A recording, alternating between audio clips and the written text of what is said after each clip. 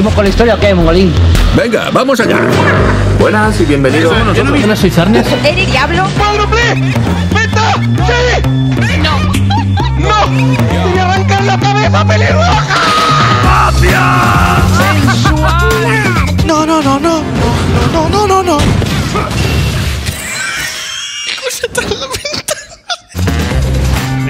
Tío! ¡Venga ya, macho! Tú pídeamelo, tú pídeamelo, claro que sí, campeón. Sí, el láser.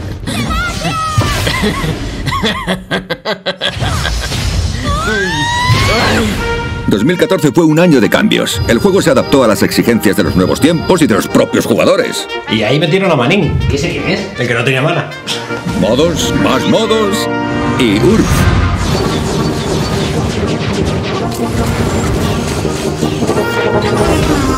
Sí, ya he hablado de ti. Se extiende el fenómeno por todas partes y hasta sale en televisión. La Liga de las Leyendas. Liga de las Leyendas.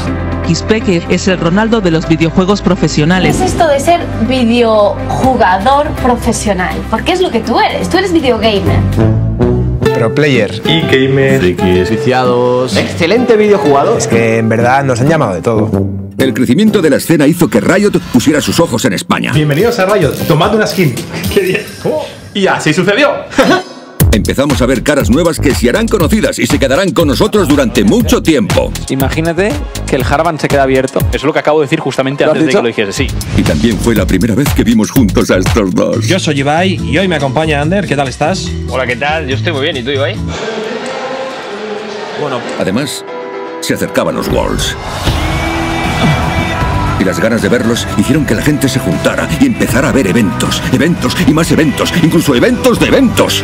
Y hasta vino Timo. En el Timo Tour, un viaje del Jordel alrededor de Europa. Y desde entonces, Timo es de la bronza.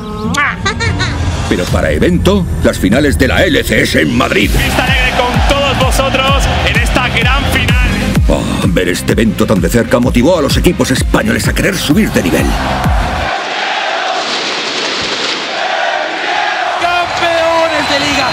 ¡Ruido para Yaya! ¡Cárrale tocadísimo! ¡Todos contra Pony! ¡Come para Welling! ¿Qué pelotas tienes, chaval? ¿Qué pelotas tienes? ¡Está en la LCS! es el ECS! ¡Ese es el equipo! Pero no mucho más lejos de aquí, otro equipo disputaba los Worlds con los coreanos. Los mejores jugadores del mundo. Y bueno, claro, ganaron ellos. Está desatado completamente Faker. ¡Lo has encontrado con Papito! ¡Están haciendo la actuación sincronizada! ¡Y otra más para él! ¡Otra más para Faker! ¡Para la estrella Faker! Quien no conoce a Dios, a cualquier santo le reza. Y así termina otro capítulo de la historia de League of Legends. ¡Oh, Dios mío! ¡Han matado a Gangplank!